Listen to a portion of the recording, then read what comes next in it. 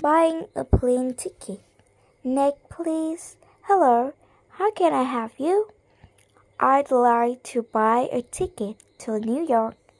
Would you like one way or round trip? Round trip. When will you be leaving? When does the next plane leave? In about two hours. I'd like a ticket for that flight, please. First class or coach? Coach. Okay, let me check availability. I'm sorry, tickets for that flight are sold out. How about the one after that? Let me see. That one has seats available.